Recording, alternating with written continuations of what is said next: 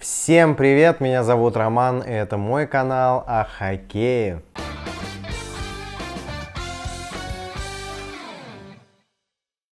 Давненько я уже не записывал обзоры, 11 день пошел, сначала был перерыв на сборные, а потом всякие новости, Олимпиада, НХЛ едет, не едет.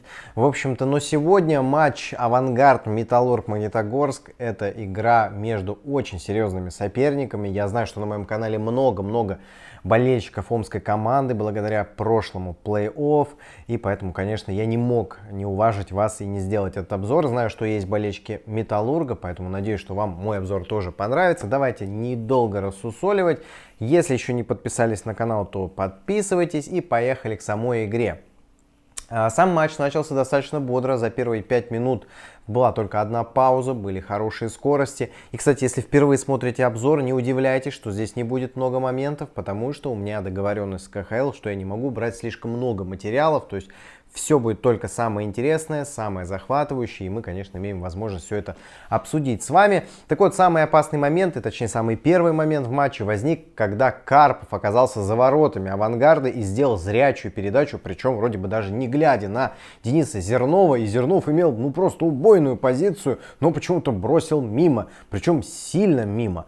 И, кстати, режиссеры трансляции все время захватывали Зивернова и Прохоркина, как бы э, разделяя экран и демонстрируя нам то, что это тот самый обмен в начале сезона. И вот уже э, наш, наша регулярка близится к своему завершению. Вроде бы как бы Э, подразумевает подводить какие-то итоги, но мы не будем на этом сильно останавливаться. В общем, Магнитка создала самый первый опасный момент, и практически сразу, уже в следующей атаке, они смогли открыть счет.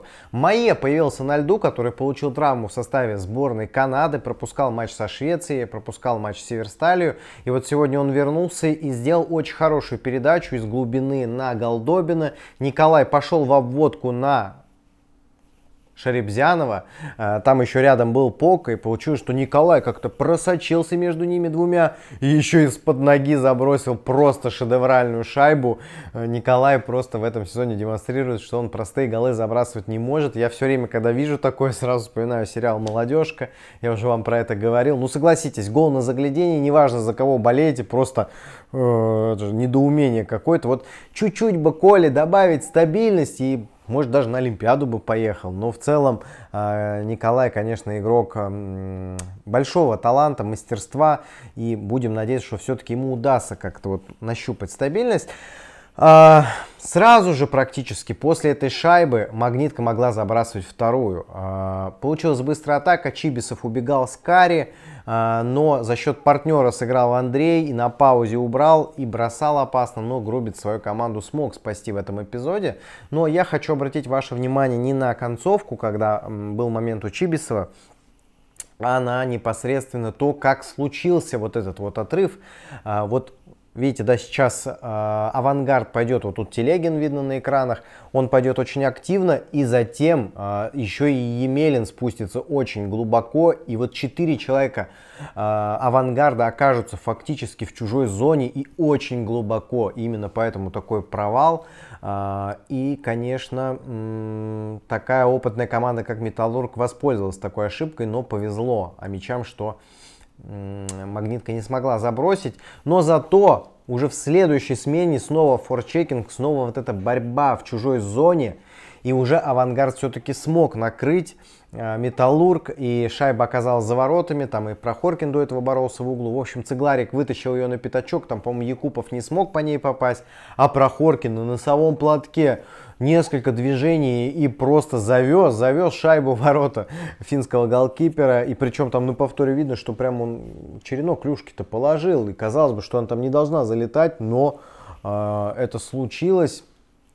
И счет достаточно быстро стал 1-1, буквально минуту 15 хватило командам, чтобы обменяться заброшенными шайбами. А Николай вообще, надо сказать, в этом первом периоде оставлял очень положительное впечатление. Шел на соперников, шел в дриблинг, э, крушил, делал силовые приемы, отдавал передачи. В общем, был э, очень полезен для своей команды. И вот эта, опять же, режиссерская работа с тем, чтобы показывать Зернова Прохоркина, она как бы была к месту, потому что оба игрока были заметны на льду. После заброшенных шайб игра чуть-чуть подуспокоилась, команды э, играли неплохо, но не слишком остро. Запомнился разве что момент, когда Емелин снова подключился к атаке и отличную поперечную передачу сделал на Каблукова, но Илья, наверное, не самым лучшим образом распорядился моментом и все-таки Олкинора поймал эту шайбу. Ближе к концу периода э, Магнитка заработала свое первое большинство, Комаров нарушил правила на каре, который закатился в зону. Не сказать, что прям супер явное нарушение, но а, оно все-таки было. Но большинство магнитки не запомнилось чем-то особенным. И первый период закончился со счетом 1-1, 12-9 по броскам в пользу авангарда. Хотя мне показалось, что вот таких именно убойных моментов по первому периоду все-таки было больше у а, магнитогорцев. Кстати, когда забрасывал Голдобин, очень-очень э, радовался за него Илья Воробьев. Обычно он более сдержанный, но вот этот эпизод мне запомнился.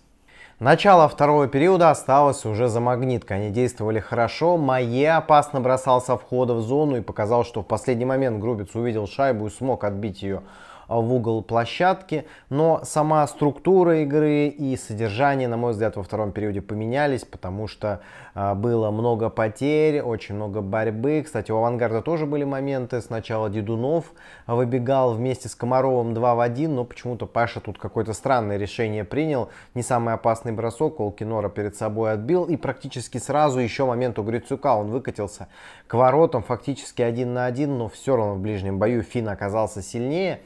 И вот если говорить про борьбу, там Шарибзянов достаточно жестко играл.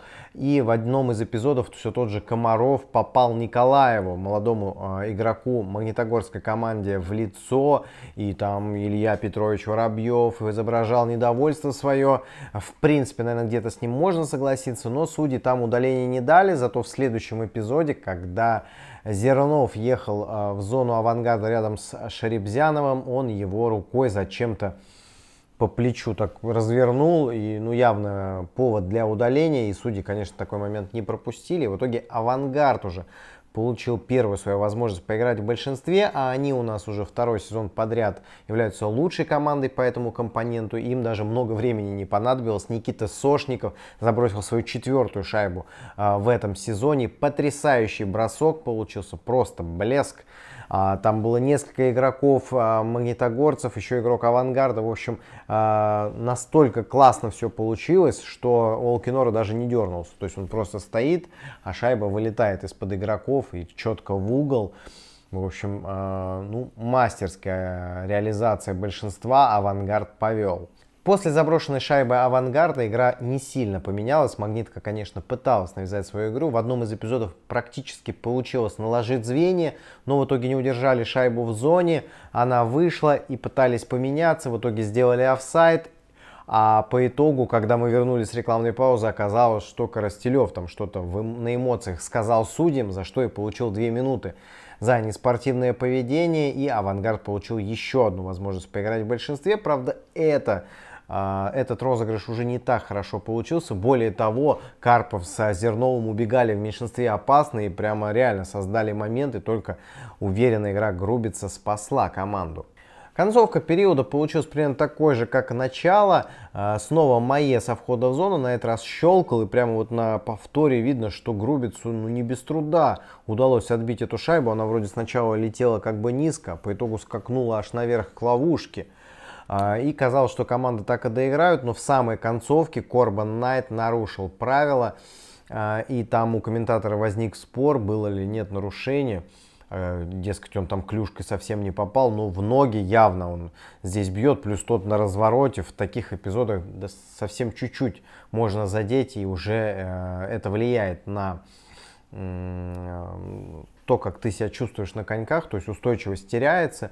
А вот. Найт улыбался, Хартли изображал рыбку, но в итоге авангард получил меньшинство, но магнитки там оставалось буквально там чуть больше 10 секунд, ничего не смогли сделать, и это большинство перешло на третий отрезок, а во втором, ну, скажу вот еще раз, что игра смотрелась уже хуже, чем в первом, но Авангард, вот, воспользовавшись ошибкой соперника, реализовал большинство и собственно, повел в счете.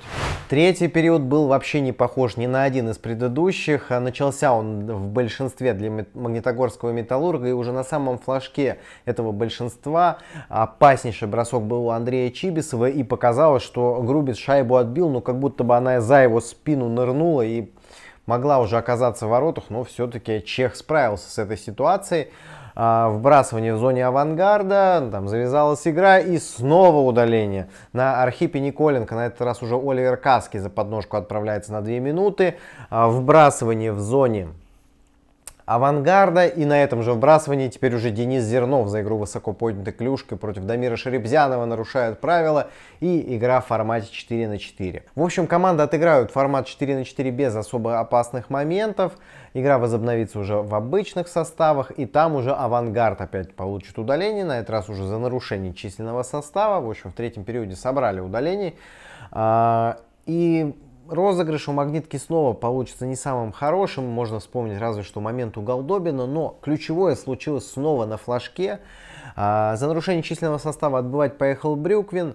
И как раз, когда Брюквин выходил, Авангард перехватил шайбу и пошли они в контратаку. В итоге довели шайбу до Брюквина, он выходил вместе с Цеглариком, и Владимир решил бросать. Бросил, Олкинора отбил, но не очень удачный отскок для голкипера Магнитогорска. Шайба попадает к Цегларику, который э, одним коньком, вторым коньком обрабатывает шайбу и уже в пустые ворота ее отправляет. Авангард забрасывает третью шайбу и фактически обеспечивает себе комфортнейшее преимущество, потому что сразу после этого а, магнитка как будто выключилась. У них практически ничего не получалось.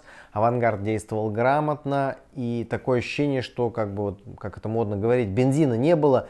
Разве что Мае э, запомнился. Он, конечно, бросал с разных позиций, но одних его усилий было явно недостаточно. И когда оставалось играть чуть более 6 минут, а, Авангард еще и в своей зоне зарабатывает себе большинство. Этот же Филипп Мае, самый активный у магнитки, получает штраф. И я себе писал а, в планшете, что, дескать, даже если авангард не забьет, еще минус 2 минуты, там останется меньше 5, то есть просто комфортно сыграй.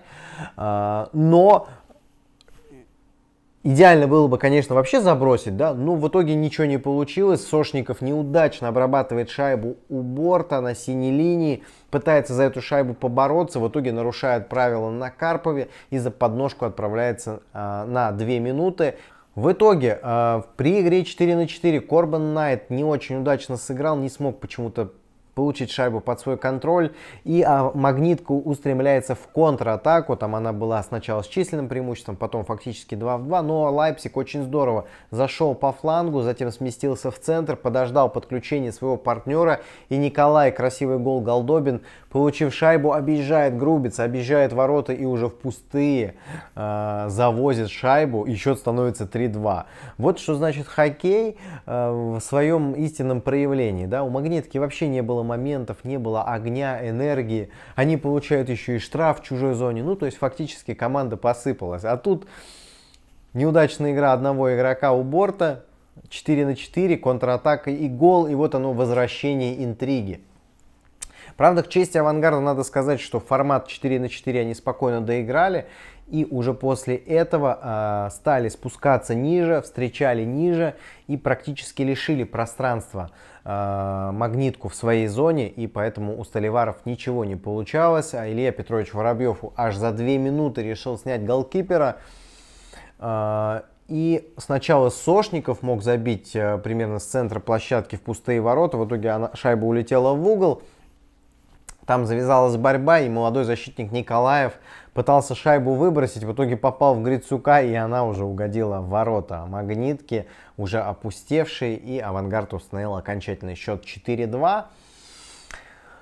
Последняя заключительная игра между этими командами в рамках регулярного чемпионата. Если э, для обеих коллективов все сложится хорошо, то они вполне могут встретиться там во втором раунде, может там и в финале конференции. Все зависит от того, кто какое место займет. Э, по сегодняшней игре что могу сказать? Комментаторы Васятин и Гимаев, э, ну, Сергей Гимаев, как всегда, в своем репертуаре, у него э, опасные моменты это только те, которые заканчиваются голами.